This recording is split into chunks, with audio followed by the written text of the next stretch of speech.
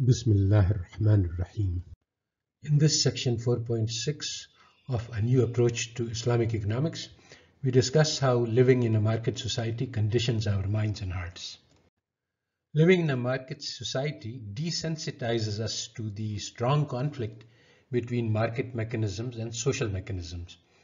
Polanyi describes this conflict by saying that in a traditional societies, markets are embedded within uh, so the social mechanisms, whereas in a market society, the markets dominate and social relationships are embedded within the market. In a recent update, Carrier talks about how in traditional societies, people either produce what they need or they exchange gifts with their neighbors. All of these transactions produce connectivity with the earth and also connectivity with it, uh, these build social relationships as opposed to market mechanisms which are anonymous and create um, either adversarial relationships or non-committal indifference. Because we have been desensitized to it, it's helpful to give a specific illustration of the strong conflict between the social and the market mechanisms. And one uh, good illustration is uh, blood donation. We would all happily volunteer to help save lives. Uh, and this is how blood drives uh, incentivize people. But what would happen if we are offered money instead of for, the blood? Uh, as this has been tried, an entirely different class of donors, drug addicts, poor people emerge. Nobody wants to sell their blood. And so these two incentives, money and social, are opposed to each other. Economists, including Nobel laureates, failed to understand this. They thought that if we offered money in addition to social motivation, this would increase the amount of blood donations, but it doesn't work that way. If we are being offered money and we are also told that yes, this will help save lives, we think of it as a market transaction and we uh, don't um, enter into it. So offering money actually reduces the amount of blood available and the quality of the blood available. Because of this conflict between markets and society, market society cannot come into existence without a battle against the traditional social values and uh, things which are considered sacred in a traditional society become reduced to commodities for sale on the market. For example, the prime example is the labor market in which human lives are still considered not for uh, sale are actually reduced to objects for sale in the labor market. We sell a part of our lives for money and this cheapens human lives and also increases the value and worth of money in our eyes.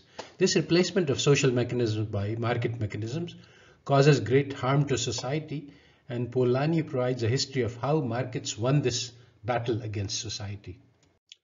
Polanyi says that we cannot understand the history of uh, how capitalism came to be without understanding this conflict and without understanding that markets seek to expand and the society resists such expansion. So why do markets seek to expand? This is a question we haven't dealt with. Uh, it is some internal dynamics of markets which uh, makes uh, growth an imperative.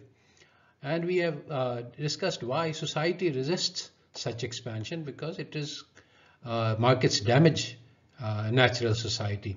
So uh, to understand history, we have to look at both the forces which lead markets to expand and the forces which lead society to resist and counter such movements towards expansion. One of the key elements of Polanyi's analysis of capitalism is that markets require three artificial commodities. Natural commodities are those which are produced in factories or grown on farms, but these are not, these artificial commodities, land, labor, and money, are not produced by our labor. Land is the environment. We live on this land. It is our habitat, and we have a symbiotic relationship with it. Labor is actually the stuff from which our lives are made and not for sale. And money is actually a social convention which is uh, put into place by governments and uh, supported by uh, markets. And so none of these are commodities in any natural sense. treating land as a commodity cheapens it and uh, reduces it from the metaphor of Mother Earth to just a commodity for exploitation. And this change in our attitude towards uh, the earth is one of the primary causes of the current environmental crisis. So when we start thinking of labor as a commodity, then human beings become human resources for sale. This increases the value of money and cheapens our lives. Um, uh, because it is so uh, built into us to think in this way, and we think of our own life, the value of our life as the amount that we will get when we sell it in the labor market, the amount of money we make is a status of our worth. Uh, we have to reflect on how unnatural this is. Uh, and uh, we have to uh, free our minds from this illusion of capitalism that our lives are for sale.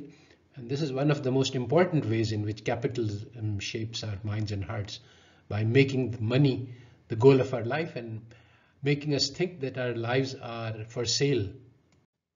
Money itself is a social institution. It is not like uh, intrinsically valuable, the pieces of paper we hold have no value except that which is given to it by the government and by the social conventions so when we think of it, start thinking of it as a piece of paper, then we are able to value it for its true worth and uh, regain control of our lives.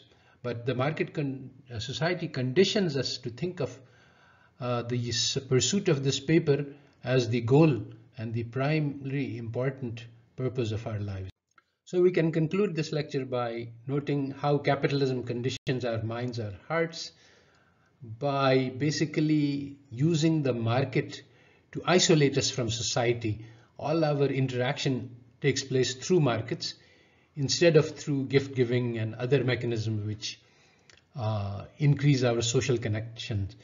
And this leads to loneliness and uh, awareness of this effect of capitalism leads to the possibility of liberation. We have to realize that our lives are precious beyond the possibility of purchase we have to realize that we are unique. There has been no one like us before, and no one like us will come into existence after. The opportunities we face are unique. We are not interchangeable parts in a machine for production of capitalism. Similarly, the planet we live on is unique, and the gifts given to us by God in the form of the forests and the seas and the mountains and the animals and the plants, they are irreplaceable. If we wipe out a species, we cannot recreate it for any amount of money and it takes century and millennia to produce these plants and uh, uh, species. And similarly, the money that we value is a substitute, is a market substitute for the trust. Uh, building genuine trust in social relationships provides deep satisfaction, which is unavailable in a market economy.